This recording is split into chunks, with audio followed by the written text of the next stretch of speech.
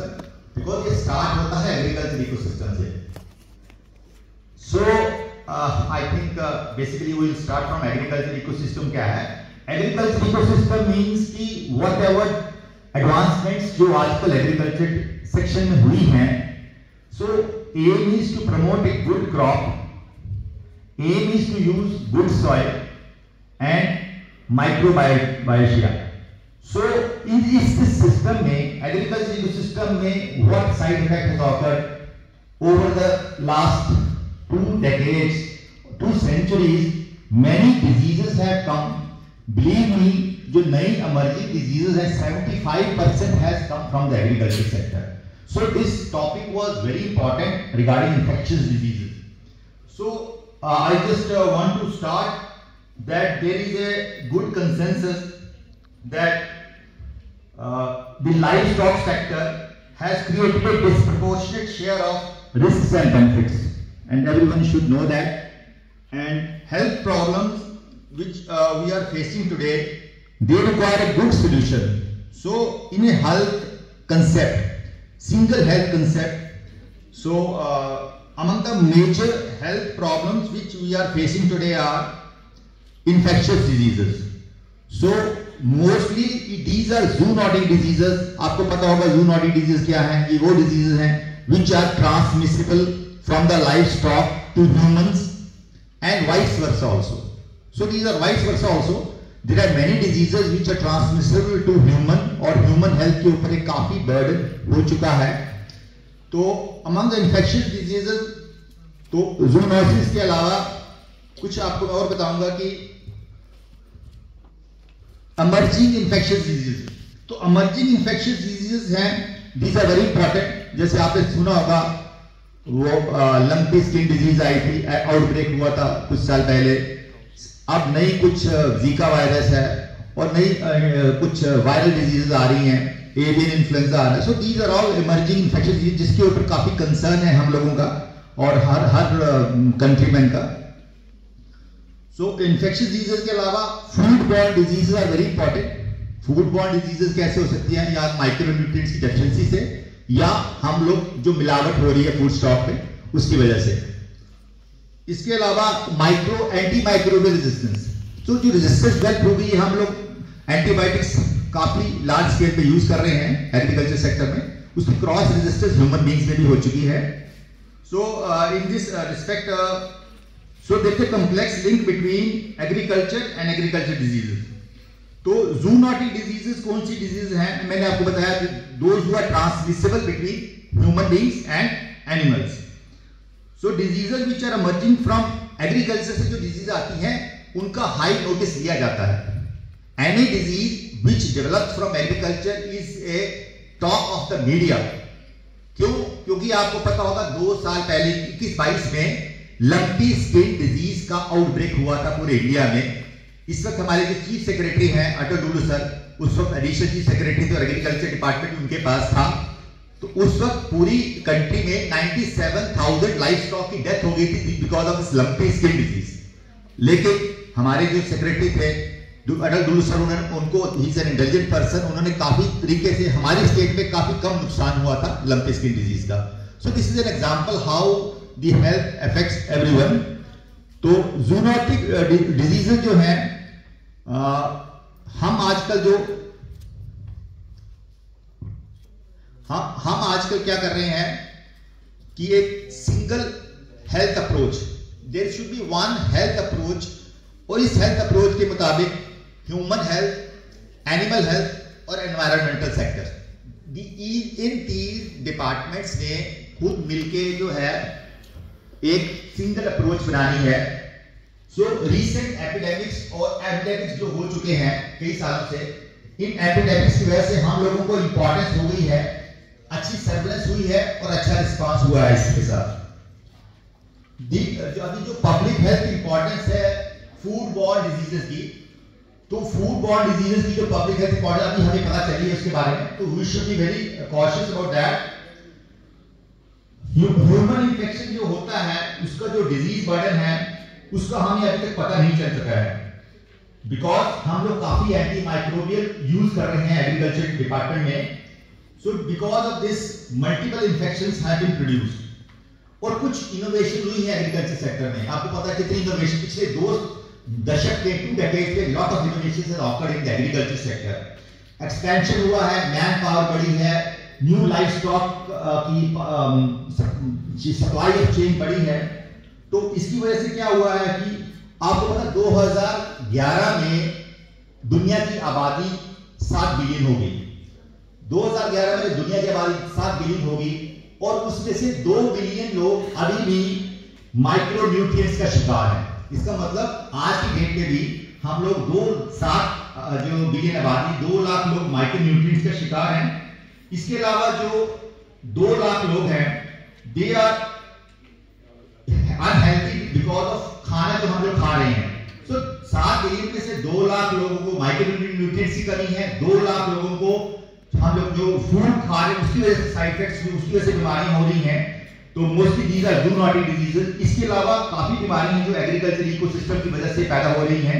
तो there is a permanent security मैं आपको 25% जितनी भी इंफेक्शियस डिजीजेस हैं, इंसान में they have come from agriculture sector 25% और 1 in 10 every person dies from these do not diseases और other food borne diseases which come from the agriculture sector so अब क्या-क्या हमें प्रॉब्लम आ रही है? मेनली फंगल टॉक्सिंस आपने सुना होगा। So these are mycotoxins these fungal mycotoxins in the crops and animal source food में. तो these are very injurious to health also. Then there are plant toxins. Plant toxins important है. Then use of waste water agriculture का जो waste water है again that is source of infections to humankind similar misuse of agriculture chemicals जो chemicals हम लोग use कर रहे हैं एग्रीकल्चर में. वो भी हमें मिस यूज़ हो रहे हैं. उसकी वजह से हमें इन्फेक्शन डिज़ीज़ हो रही हैं.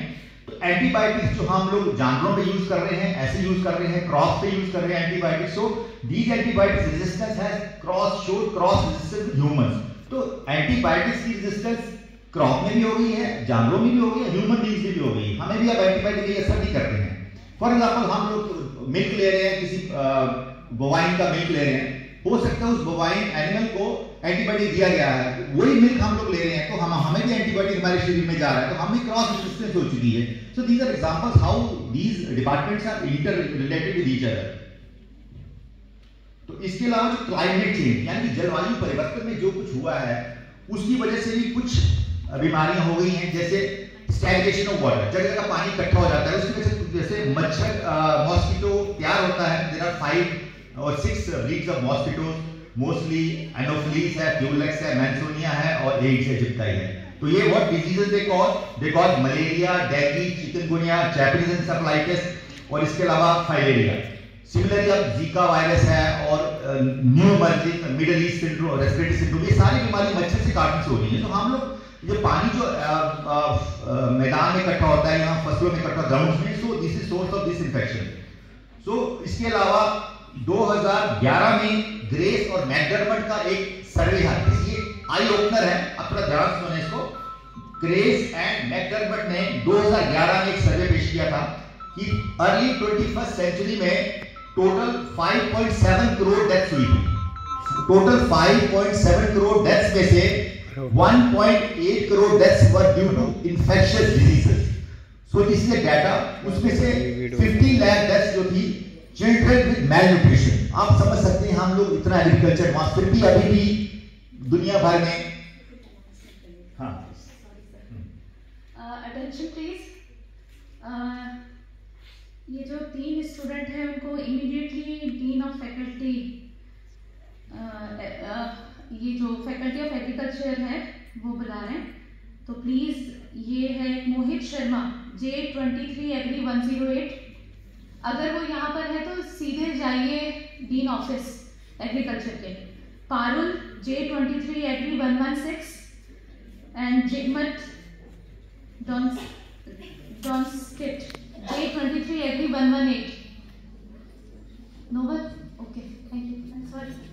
so मैं बता रहा था कि उसमें से उस डेथ्स में से 50 लाख डेथ्स हुई थी due to malnutrition similarly diarrhoeal diseases 3 lakh 30 lakh death were due to diarrhoeal disease और mainly these diarrhoeal diseases were zoonotic तो 2.5 लाख डेथ्स जो थी ट्यूबरकुलोसिस आपको पता partially bovine tuberculosis is an important source so that was another important related issue HIV related death जो थी वो 20 लाख 20 लाख हुई है पिछले दशक में।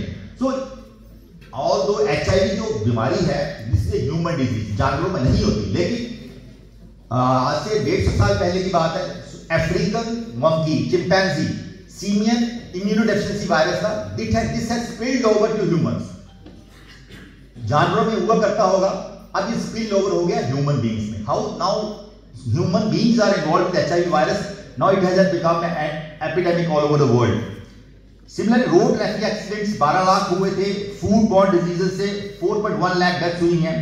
कुछ फेटल एग्रीकल्चर इंजरीज हमारे जो वर्कर्स काम कर रहे हैं फील्ड्स में they are expose to agriculture injuries accident injuries again उसकी भी डेथ्स काफ़ी हुई हैं। एक अफ्रीकन स्लीपिंग सिकनेस है अगेन वेक्टर बॉर्न डिज़ीज़ है टिटैनोसोमियासिस जिसकी वजह से वो काफ़ी डेथ हुई थी। और एक और इंपॉर्टेंट था एक्सट्रीम वेदर रिलेटेड डेथ्स भी हुई हैं 20000 के आसपास। और सबसे बड़ी इंपॉर्टेंट बात बता रहा हूँ 35000 डेथ हुई थी लिवर कैंसर से। और these liver cancers are directly attributable to aflatoxins कुछ पता है आपको एफ्लेटॉक्सिन्स क्या होता है? एफ्लेटॉक्सिन्स क्या होते हैं? Family of toxins which are produced by certain fungus तो कौन कौन से फंगस हैं? एस्परजिलस फ्लेवस और एस्परजिलस पैरासिटिकस ये दो टाइप के फंगस हैं जो कि एफ्लेटॉक्सिन्स सिक्रीट करते हैं और ये जो एफ्लेट ये जो फंगस है, ये कैसे कर रहे हैं? क्योंकि ये एफ्लेटॉक्सिन एग्रीकल्चर क्रॉप्स पे पैदा होती है। मोस्टली जो क्रॉप्स कौन कौन सी हैं? मोस्टली जो मेज की क्रॉप्स है। मेज की क्रॉप है या पीनट की या कॉटन सीड इन क्रॉप्स में एफ्लोटॉक्सिन्स हैं। They are related 100% with liver cancer so ये आपको मैं डाटा शेयर कर रहा था पिछले दशक का डाटा था कि कैसे डेथ हुई है इसके बारे में। और अब थोड़ा एंडेमिक डिजीजेस क्या है? जूनोटिक डिजीजेस जो है 60% of all human infections whether domestic and 75% of the emerging diseases are zoonotic disease तो एंडेमिक जूनोसिस क्या और एपिडेमिक क्या है? एंडेमिक जूनोसिस का मतलब है ये वो बीमारियाँ हैं जो सारा साल कंटिन्यूसली लो प्रोफ़ाइल में प्रेजेंट रहती हैं। सो so, जो डिज़ीज़ परमानेंट सोसाइटी में है उसको हम एंडेमिक कहेंगे। और एग्जांपल इसकी रहेगी डॉग टेपर में सिस्टी कोर्सेज सुना होगा आपने। जिसका कि जो कीटाणु है, जो बैक्टीरिया वो ब्रेन में भी चला जाता है और फिट्स पड़ते हैं पेशेंट को। और इसके अलावा ब्रूसुलोसिस ब्रूसुलोसिस का नाम सुना किसी ने? ब्रूसुलोसिस ये वो बीमारी है, ये बोवाइन से होती है और काफ़ी सीरियस इलनेस है। तो ब्रूसुलोसिस जो हम कच्चा पनीर खाते हैं this should not be done कच्चे पनीर और हम रॉ मिल्क लेते हैं, उससे ब्रूसुलोसिस और बोवाइन ट्यूबरकुलोसिस स्प्रेड हो सकता है। So, ब्रूसुला जो है again this is a disease which is called in the bovine animals इंसान में आती है। इसके अलावा जो था leptospirosis disease so leptospirosis disease एक बेस्ट एग्जांपल है कैसे इंसान में पैदा होती है। तो लेप्टोस्पाइरोसिस एक बड़ी खतरनाक बीमारी है जो कि इंसान के लिवर को इन्वॉल्व करती है डेथ भी हो सकती है पूरा बॉडी इन्वॉल्व होता है। तो लेप्टोस्पाइरोसिस में क्या होता है? It is spread by rat urine leptospirosis is spread by rat urine की एक साइकिल है। फ़ील्ड में रैट्स होते हैं, खेतों में, वो यूरिन करते हैं फार्मर वो फ़सल उगा रहा है और एक पानी इकट्ठा हुआ है। उस पानी के रास्ते ये स्किन में कोई भी छोटा सा जख्म हो, उसके रास्ते बॉडी में चला जाता है और सांस लेने में चला जाता है leptospirosis it causes a serious disease so this is leptospirosis again example कैसे जूनोटिक डिजीजेस हमारे एग्रीकल्चर सेक्टर में कैसे साइड इफ़ेक्ट करती है। इसके अलावा आपको बताऊँगा कि किन लोगों का एंडेमिक डिज़ीज़ होती है, जो बड़े पुअर लोग हैं, जो बड़े गरीब हैं, और जिन, जो, जिन लोगों ने लाइफ स्टॉक रखा हुआ है, जिन गाँव में लोगों ने अपने घर में जानवर रखे होते हैं। So they are susceptible to these endemic zoonotic diseases similarly zoonotic diseases जो हैं अराउंड द वर्ल्ड होती हैं, लेकिन दे आर निग्लेक्टेड क्योंकि दूर दराज इलाकों में, पहाड़ी इलाकों में एंडेमिक डिजीजेस के ऊपर कोई गवर्नमेंट का वो नहीं है तो हम लोग बड़े निगलेक्टेड डिज़ीज़ और अर्बन सेक्टर में फिर भी थोड़ा ध्यान दिया जाता है। एपिडेमिक जब फैलता है उस पर फिर बड़ी वो तवज्जो दी जाती है।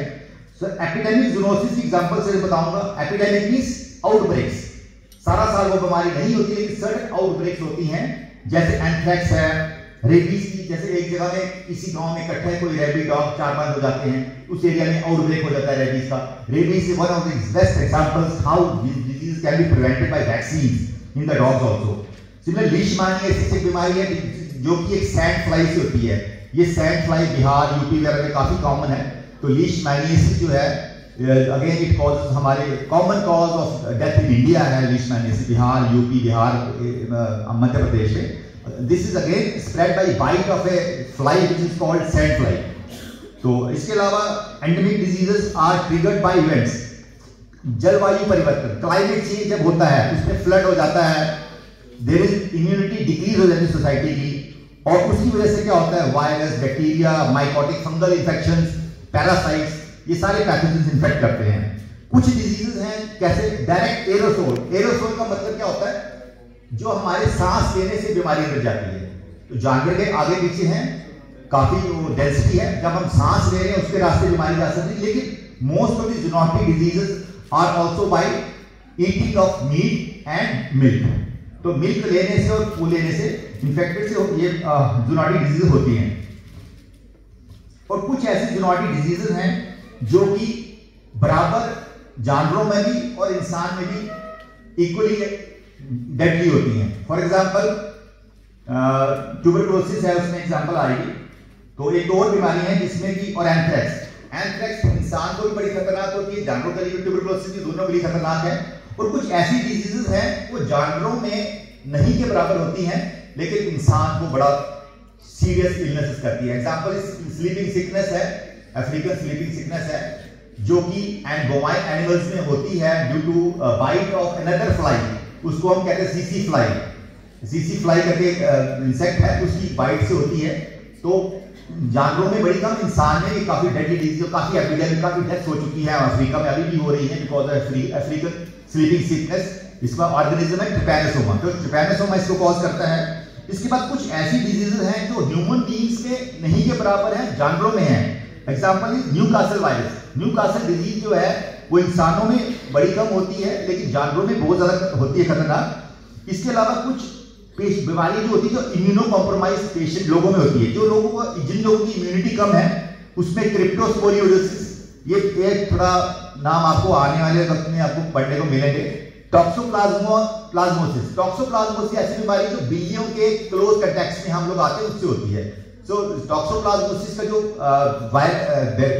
पैरासाइट है, वो ब्रेन में जाकर फिक्स करता है। सो टॉक्सोप्लाज्मोसिस बड़ी इंपॉर्टेंट बीमारी। जियार्डिया बड़ा कॉमन है। अगेन इम्यूनो कॉम्प्रोमाइज जियार्डिया जो है, इस होता है टॉक्सोप्लाज्मोसिस दे सकता है, बिल्लियों की वजह से होता है। तो ये ब्रेन में भी जाके फिक्स कॉज कर सकता है। इसके अलावा हम लोगों का काम है, इस साइकिल को ब्रेक करना है। एग्रीकल्चर ह्यूमन साइकिल को हम लोग कैसे ब्रेक कर सकते हैं? सबसे क्या इंपॉर्टेंट हमारे लिए? वैक्सीन पहले हमने vaccine very good vaccine for rabies for canines dogs के लिए वैक्सीन है सिमिलर ब्रूसला के लिए भी वैक्सीन आई है, और सिस्टी सर्कोसिस के पिग्स के वैक्सीन वेस्टर्न वर्ल्ड में वैक्सीनेशन से इन्होंने कंट्रोल कर लिया वो हमारा ये मकसद रहेगा, पहले इम्यूनिटी कम करनी बीमारी बीमारी का डिज़ीज़ लोड कैसे कम करना? थ्रू वैक्सीनेशन जब वैक्सीनेशन से डिज़ीज़ लोड कम हो जाता है, उसके बाद एक पॉलिसी होती है टेस्ट एंड स्लॉटर उस पर टेस्ट करके उस एनिमल को सेक्रीफाइस स्लॉटर कर दिया जाता है so that that is not a source of infection to other bovine animals so this is a policy this way we can prevent all this infection do not diseases infection diseases vector control programme जो है, वो that is very important जैसे मैंने आपको बताया, चार पाँच किस्म के मॉस्किटो बताए, जो बीमारियाँ कॉज करते हैं। छह सात किस्म की बीमारियाँ, जैसे malaria chikungunya filaria dengue Japanese encephalitis Zika virus ये सारी मच्छर की काटने से होती हैं। दीज आर प्रिवेंटेबल जैसे आपको पता है पॉलिसी है जैगूसिया फ़िश हम तालाबों में रख देते हैं। दैट फ़िश इज़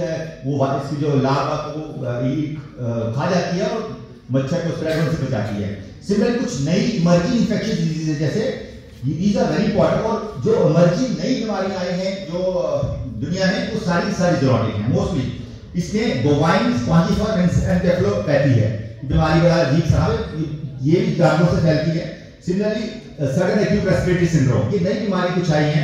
इसके अलावा एवियन इन्फ्लुएंजा काफ़ी बर्ड फ्लू जिसको कहते हैं, थोड़े दिनों में काफ़ी फैला था जानवरों में। इबोला वायरस आपने सुना होगा हनीका वायरस ये इबोला वायरस हनीका वायरस एपिडेमिक अभी भी वर्ल्ड में, अफ्रीका साउथ अमेरिका में अभी भी चल रहे हैं। These are all zoonotic diseases which are preventable इसके अलावा, इसका कारण क्या है? एक तो हाई इंसान की डेंसिटी बढ़ गई पॉपुलेशन बढ़ गई है, और उसी जगह लाइफ स्टॉक की डेंसिटी बढ़ गई है। तो इससे तो बड़े क्लोज कंटैक्ट में है। लाइफ स्टॉक इंसान वेस्ट वाटर ऑफ़ एग्रीकल्चर और फील्ड्स इसकी वजह इस क्लोज इकोसिस्टम में सारे के सारी बीमारियाँ जो है, इंसान को अफेक्ट कर रही हैं।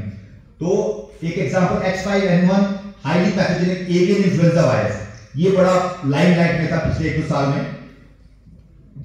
इसके अलावा कुछ और, जैसे लाइम डिज़ीज़ के बारे में बताऊँगा, ये भी लाइम डिज़ीज़ एक बीमारी है। बड़े साल इसके बारे में पता नहीं थी ये क्या बीमारी है। लेकिन अब जाके पता चला स्टमक में जो अल्सर होते हैं, ये लाइम डिज़ीज़ एक टिक के काटने से टिक टिक सुना किसी क्या होती है? छोटी सी होती है होती है।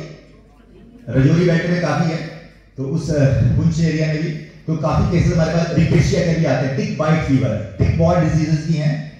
मच्छर के एक छोटा सा जो कीड़ा होता है तो टिक बॉर्न डिज़ीज़ काफ़ी इंपॉर्टेंट है। तो इसके अलावा अगर हम हिस्ट्री में देखेंगे तो जूनोटिक डिजीजेस को 2050 तक हमारा जो लाइफ स्टॉक का जो है पॉपुलेशन डबल होने वाली है।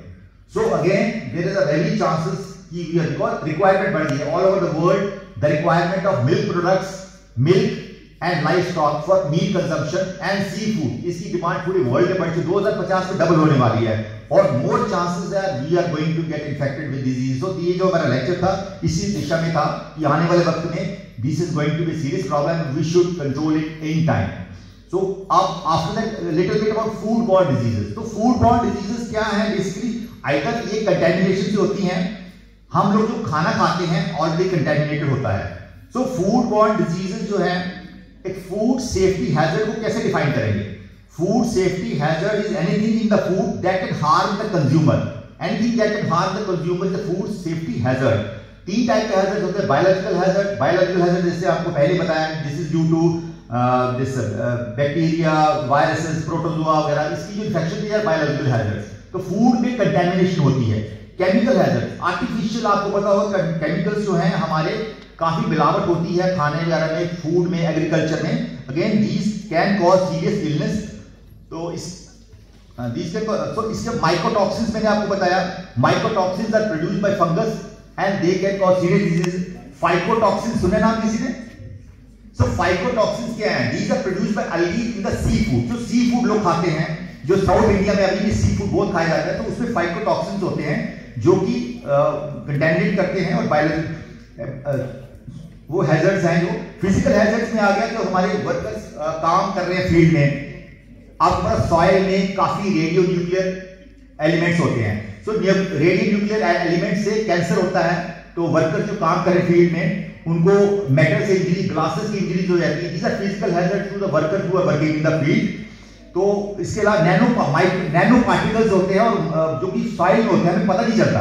लेकिन हमारे वर्कर्स को काफ़ी ज़्यादा बीमारियाँ करते हैं through absorption these nano particles तो जो फ़ूड बॉन्ड एक इंडेक्स है ला, थोड़ा लास्ट दो चार मिनट रहेंगे तो इंडेक्स इज़ वेरी इंपॉर्टेंट हम लोग कैसे असेस करेंगे कि हम लोगों को कैसे ये फ़ूड बॉन्ड डिज़ीज़ हमारी लाइफ को इफ़ेक्ट कर रहे हैं? There is a standard index called disability adjusted life year DALY D A L Y disability adjusted life year so हम ये कहेंगे, अगर किसी का disability adjusted life year one है, इसका मतलब उसका अपने जॉब में एक साल का नुकसान हुआ है।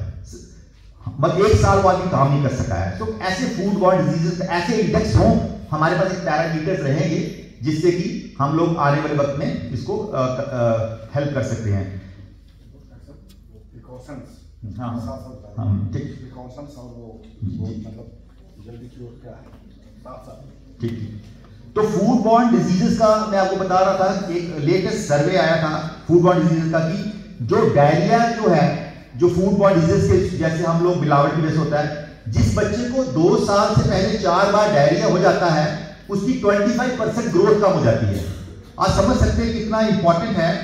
तो इसके अलावा सप्लीमेंट्री फ़ूड हम जो देते हैं बच्चों को। सप्लीमेंट्री फ़ूड कब दिया जाता है? बच्चा जब छह साल, छह महीने का हो जाता है, उसके बाद फ़ूड ऐड करते हैं। इसके अलावा mid day school meal program है। उस पर काफ़ी माइक्रोबियल कंटेमिनेशन पाई गई कई जगह इंडिया में बाहर इंडिया में। तो ये भी एक एडल्ट्रेशन का एक कारण है। तो एफ्लेटॉक्सिन मैंने बताया, ये भी कंट्री के लिए इफ़ेक्ट करते हैं। Injection of animal fecal matter animal fecal matter जो है इंजेक्शन होता है। तो पर्टिकुलरली पता नहीं चलता, हाथ लोग धोते नहीं है तो नाखून हमारे रहते हैं। मैक्सिमम डिजीजेस मैं आपको एग्जांपल बताऊँगा। जैसे सर ने मुझे बताया what precautions we should take सबसे example pinworm pinworm एक छोटा सा वर्म है, काफ़ी गाँव 90 परसेंट गाँव में लोगों को होता है। छोटा सा कीड़ा होता है। इसमें ऑटो ठीक नहीं होता? दवाई लेते हैं एंटी वर्म नहीं। ठीक कारण ये है, क्या है? थोड़ी सी इचिंग होती है, आदमी खारिश करता है। दैट्स ऑल इतना नफ है उसके लिए। उसके जो एग्स होते हैं हमारे नाखून में रहते हैं।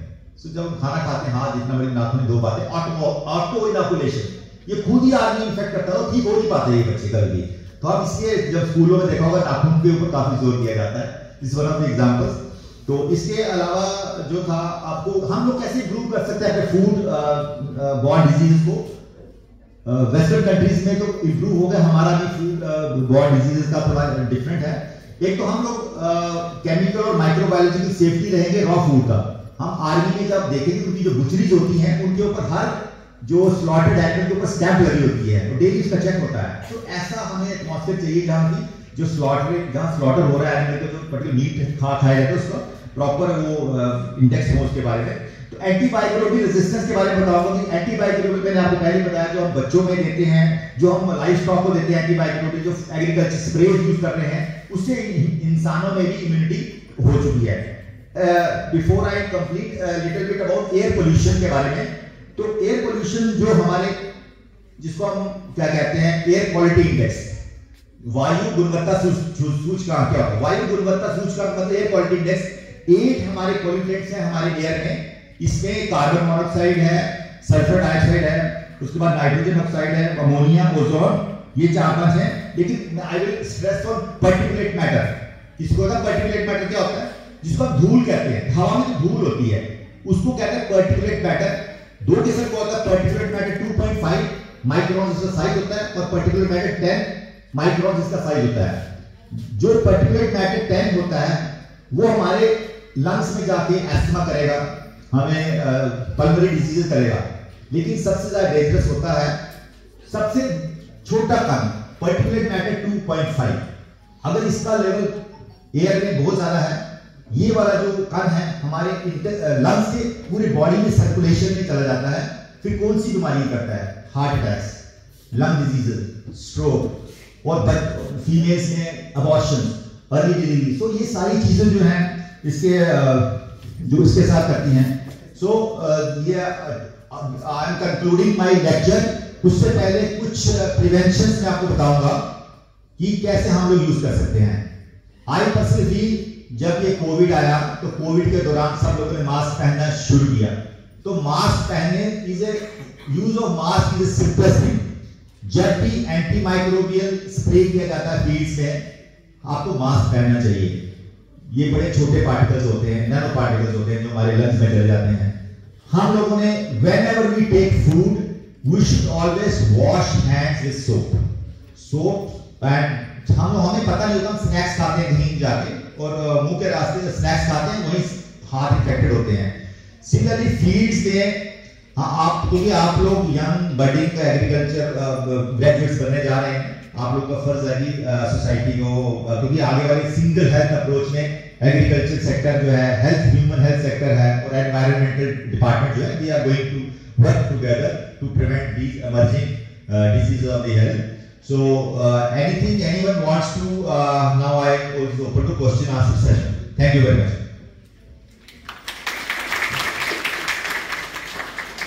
किसी को कोई चीज़ समझ नहीं आ रही है? क्योंकि मैंने बड़ा ये बहुत लंबा टॉपिक था। मैंने कोशिश की है थोड़ा थोड़ा हर टॉपिक टच करने की।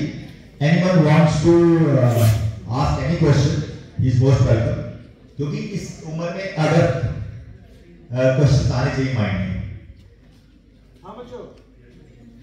लेक्चर तो आपने सुना ना? कोई क्वेरी आपके माइंड में है पूछ सकते हैं। इनको बताइए कि when they they they will go to field ना? हाँ। ओके इनको फ़ील्ड में बराबर जाना है। हम्म। तो फ़ील्ड में जाने के समय क्या प्रिकॉशन ये रखें? और फ़ील्ड से आने के बाद से क्या करें? देखिए कोविड 19 के दौरान हमें दो चीज़ों का पता चला। डफिंग एंड डॉनिंग हम मास्क कैसे पहनते थे? और वो जो पीपीटी किट कैसे पहनते थे? कैसे खोलते थे? उसी स्टैंडर्ड्स के ऊपर हम लोगों ने जब फ़ील्ड में जाना है, मैं आपको यही एडवाइस करूँगा कि आप, आपको पता होता है मैंने फ़ील्ड में जाना है। आप सिलेक्ट करो कौन से कपड़े जो है आपको पहने हैं, सूती कपड़े, जिसमें कि एयर ट्रैप हो जाए, पसीना कम आए, और जो शाम को आके वो कपड़े धुल जाए। पहला ये था। That any antimicrobial any spray any aerosol कोई भी चीज़ जो है फ़ील्ड के रास्ते आपके बॉडी में ना आए। दूसरा, सब दूसरा, आपको फ़ील्ड में कोशिश करनी है, कुछ खाना नहीं है। अगर कुछ खाना भी है तो it should be properly hand washing अगर हैंड वॉशिंग देखो, कई जगह ऐसी जगह होती है, आपको सोप नहीं मिल पाता है।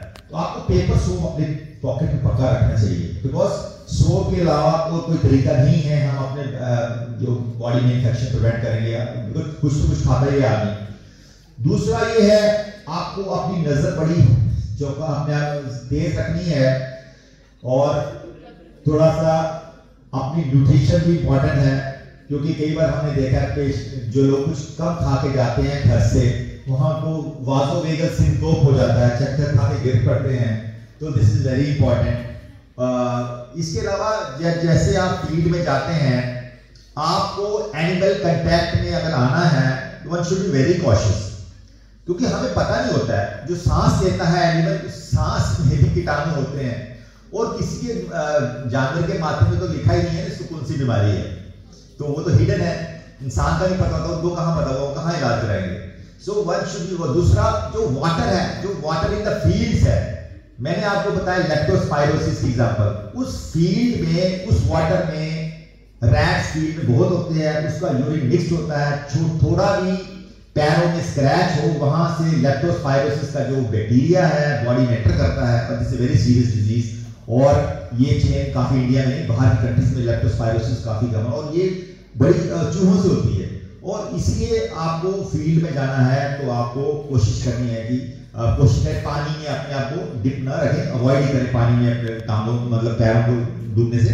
तो बिकॉज़ वर्कर्स हमारे काम कर रहे हैं ऑलरेडी तो उनको भी आपको जो मैं आपको बता रहा हूँ, अपने वर्कर्स को भी सेम एजुकेशन देनी है। मेरा मकसद यही है कि जो मैं बता रहा हूँ, वो उनका लेवल ऑफ़ इंटेलिजेंस कम होता है और उनकी पढ़ाई लिखाई थोड़ी कम होती है फार्मर्स की। आप लोगों ने यही मेरा मैसेज आगे उनको देना है फ़ील्ड में। तो इसके अलावा मेनली कोई भी बीमारी है हमारे नाक और मुँह के रास्ते आती है बॉडी में।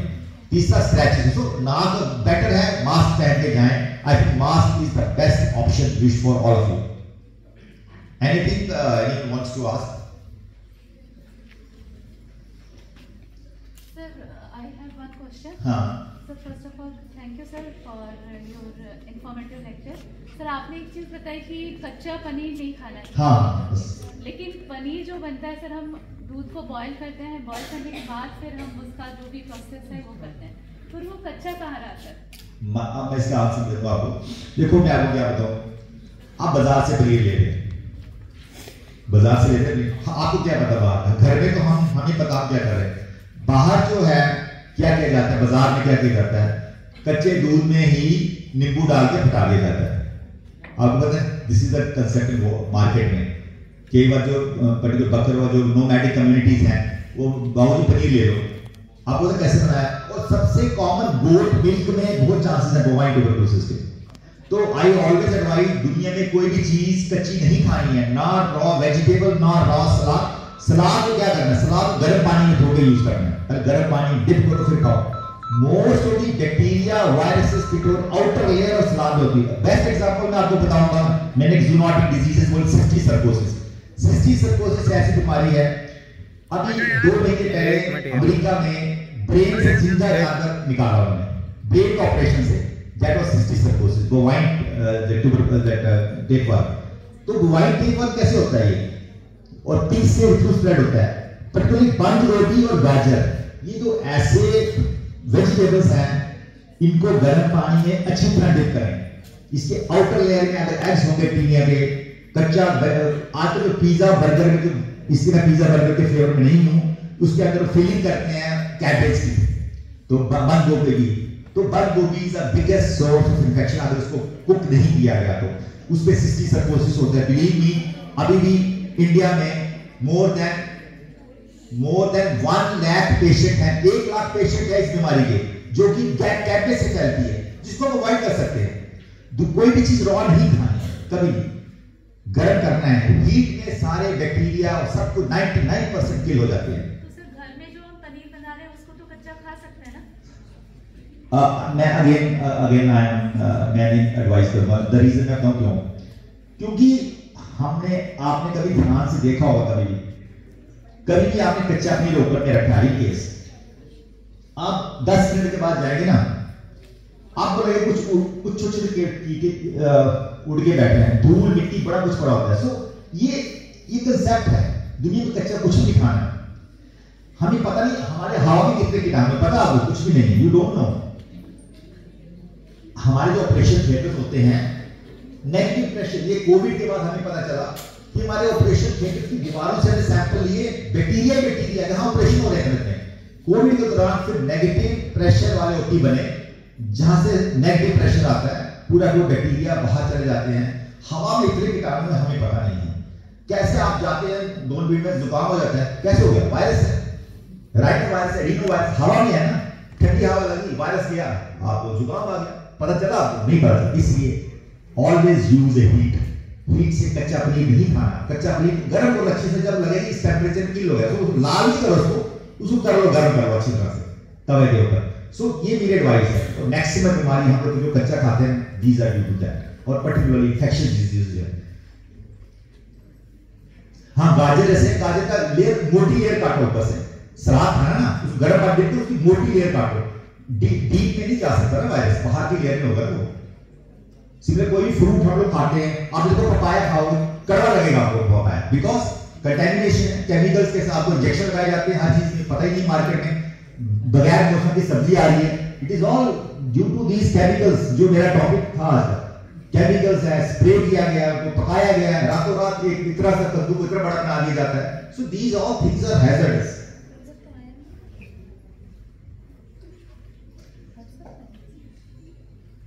Any questions? अरे आप सबको पता है इन्फेक्शियस डिज़ीज़ में। बर्ड फ्लू स्वाइन फ्लू किसी के माइंड में नहीं आ रहा इसके बारे में पूछे कुछ। ये भी इन्फेक्शियस है ना? वैसे बारे में हाँ देखो बर्ड फ्लू जो है, मैंने आपको बताया एवियन इन्फ्लुएंजा भी कहते हैं इसको।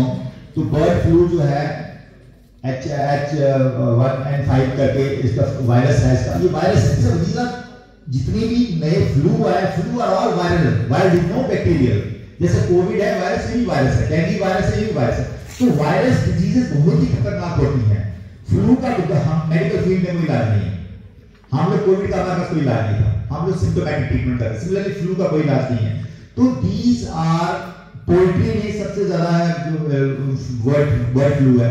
स्वाइन फ्लू जो था, नाम इसका था स्वाइन का मतलब पिग होता है, लेकिन ज़रूरी नहीं था पिग से, कहीं से भी एनिमल के थ्रू हो सकता है। तो फ्लू का मतलब है कि जो भी particularly I am talking about people who are non vegetarian जो मीट खाते हैं मीट को it should be properly cooked और मीट ऐसी चीज़ है कभी भी ओवरनाइट फ्रिज में नहीं रखनी है। हम लोग वेस्टर्न स्टाइल से बड़े आगे आगे। पहले जमाने में लोग खाना बनाते थे, उसको फ्रिज में नहीं रखते थे। आज तो जैसे हम लोग फ्रिज में हमने सोचा है कि उसको हम उसके टेम्परेचर नहीं इसमें फिर भी बैक्टीरिया पैदा हो सकते हैं ऐसा कुछ नहीं है। और एनिमल ओरिजिन का जो प्रोटीन है, बड़ी जल्दी इसमें बैक्टीरिया ग्रो करते हैं। पर्टिकुलरली जो बर्ड फ्लू आया बिकॉज़ ऑफ़ जो चिकन खाने के जो शौकीन थे, उनमें भी ये सिम्टम नज़र आए तो अल्टीमेटली नज़र आइडिया ये था कि swine flu bird flu avian flu जितने भी आए हैं, इसके लिए आप लोगों का बहुत ज़्यादा रोल है। जैसे पता चलता है कहीं ये आउटब्रेक हुआ है ऑल एनिमल्स का टेस्टिंग करके सस्पेशन पे डिस्ट्रॉय कर स्लॉटर करना पड़ता है। और कोई चारा नहीं है इसका। इसका कोई चारा नहीं है। तो पिछले जो बर्ड फ्लू हुआ था पिछले साल दो साल पहले जो मैं सबसे बड़ी लंपी स्किन डिज़ीज़ की बात कर रहा था तो वो 97,000 डेथ्स हुई थी पूरे इंडिया में उसकी जानवरों की। सो ये एमर्जिंग डिजीजेस हैं। जानवरों में इट इज़ वेरी डिफ़िकल्ट इंसान का तो पता जानवरों में बीमारी का पता लगाना बहुत टफ होता है। बिकॉज़ वेटनरी के पास जानवर के लिए क्यों जाएगा कोई? कोई नहीं जाता ना इधर जो पोल्ट्री के इंडस्ट्री वाले जाएँगे ना इधर जिन्होंने घर में लाइफ स्टॉक रखा जाएँगे जब मरने वाला जानवर फिर जाके वेटनरी डॉक्टर को दिखाते हैं। So most of the diseases which we are inherited zoonotic diseases, are very deadly to us. Rabies के बारे में बताऊँगा। रेबीज ऐसी बीमारी है जो कि अभी सिक्किम पहली कंट्री थी पूरे वर्ल्ड में, एक महीना पहले उन्होंने सारे जितने भी डोमेस्टिक जो डॉग्स थे, सबको उन्होंने वो स्टरलाइज कर दिया। So now Sikkim can be considered as rabies free जो सारे के सारे स्टरलाइजर नई जनरेशन आएगी नहीं तो पुराने वालों को होगा नहीं। सो रेबीज और ये चीज़ें जो है प्रिवेंटेबल है। और सबसे बड़ी बात हम लोग कहते हैं, हम जिस कुत्ते को हम लोग ने इंजेक्शन लगाए हैं, अब हमें इंसान को इंजेक्शन नहीं, ऐसा कुछ नहीं है। जब हम एंटी रेबिक इंजेक्शन डॉग को लगाते हैं तो that prevents the dog from the rabies not humans उसके सलाइवा में रेबीज का कीटाणु हो सकता है, लेकिन उसको नहीं होगा बिकॉज़ उसको एंटीबॉडीज बन गई है। रेबीज का कीटाणु वो हार्बर कर रहा अपने सलाइवा में डॉग लेकिन उसको रेबीज नहीं होगी क्योंकि उसके पास एंटीबॉडीज बनी है इंजेक्शन लगाए उसको लेकिन जब वो ही डॉग जिसको एंटी इंजेक्शन लगे हैं, इंसान को काटता है, वही सलाइवा जब वो जेट करता है, इंसान को रेबीज होगी। इसीलिए ऐसा कुछ नहीं है। जानवर को भी रेबीज के इंजेक्शन लगे इंसान को भी लगेंगे। पूरे के पूरे, पूरा डोज। आजकल तो रिड्यूस हो गए चार डोज ही लगते हैं। पहले छह लगते थे, पहले किसी जमाने में चौदह लगते थे छह हुए अब चार लगते हैं। ज़ीरो थ्री सेवन और ट्वेंटी वन डेज़ या zero three seven forty days अब चार इंजेक्शन लगते हैं पोस्ट रेबीज सर रेबीज से मुझे एक याद है, मैं एडमिनिस्ट्रेशन से भी बात करना चाहूँगी कि जैसे हमारे कैंपस में सर बहुत स्ट्रीट डॉग घूमते रहते हैं। तो क्यों ना हम the help doctor and administration है। हम जितने भी यहाँ पर डॉग्स घूम रहे हैं, क्योंकि बच्चों को भी मैंने देखा है कि खाना खिलाते हैं, हम लोग भी खिलाते हैं कई बार। तो क्यों ना उनको भी हम कुछ टीका वगैरह लगा के जो है, जैसे कि जहाँ जो कैंपस में है, जो स्टूडेंट्स आते हैं बाहर से, वो भी सेफ़ हो जाए। मैम आपका बड़ा वैलिड क्वेश्चन है आप जो डिस्ट्रिक्ट जम्मू की जो वेटरनरी टीम है उन तक ये बात पहुंचाओ। वो खुद ही आएँगे, वो खुद ही आएँगे, खुद ही वो सुबह सुबह आते हैं। सुबह सुबह आते हैं जानवरों को पकड़ के लेकर स्टरलाइज करके वापस छोड़ देंगे यहीं स्टरलाइज करके छोड़ेंगे इधर। ठीक? और इंजेक्शन लगा के पूरा। देखो वेटरनरी डिपार्टमेंट जम्मू डिस्ट्रिक्ट में काफ़ी फीमेल ऑफिसर है काफ़ी एनर्जेटिक है। वो क्या करते हैं उनकी टीम आती है सुबह सुबह कुत्तों को उठा ले जाती है उनको स्टरलाइज करके एक शॉट एंटी रैबिक का डाल के वापस जहाँ से लाए वहीं छोड़ देते हैं। So you better use that तो कुछ भी कांटेक्ट नंबर लो डिस्ट्रिक्ट वेटरनरी ऑफिसर से। जो डिस्ट्रिक्ट वेटरनरी ऑफिसर है उससे आप कांटेक्ट करो। जम्मू डिस्ट्रिक्ट की है।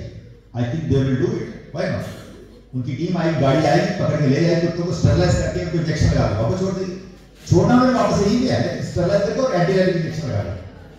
कर हाँ, हाँ। क्योंकि हैं। क्योंकि हम लोगों ने जानवर के साथ वो नहीं करनी बदसलूकी करी। जहाँ से जो कुत्ता वो उठा के वहीं रखते वापस लेकिन उसको प्रॉपर ट्रीट